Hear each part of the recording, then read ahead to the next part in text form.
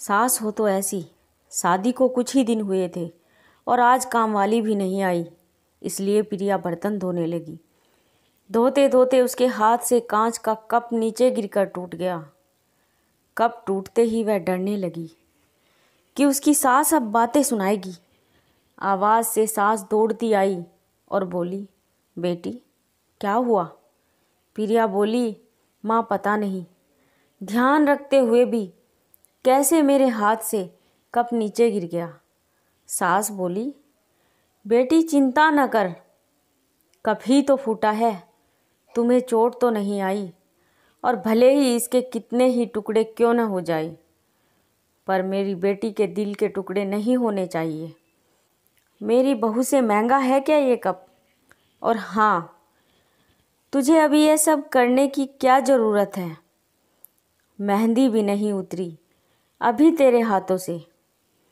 अभी तुम मेरे बेटे के साथ ज़्यादा से ज़्यादा समय बिताओ और एक दूसरे को समझो।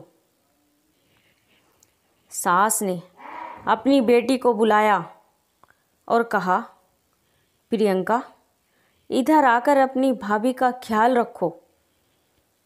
अभी इस घर में नई नई आई है। प्रियंका ने कहा हाँ माँ सास फिर बहू से बोली, शुरू में तुम मुझे अपनी माँ ही समझना।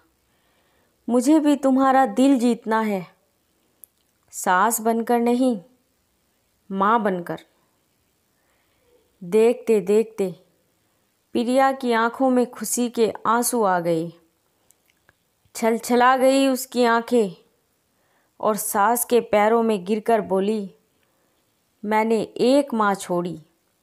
तो दूसरी नई माँ पाई, बल्कि आप मेरी माँ से भी ज़्यादा ममता मेरे लिए रखती हो। यदि घर में यह कप टूट जाता तो माँ भी दो बातें कहे बिना नहीं रहती। आपको ये कहानी कैसी लगी, हमें कमेंट करके ज़रूर बताएँ और हमारे चैनल को सब्सक्राइब करना ना भूलें। धन्यवाद।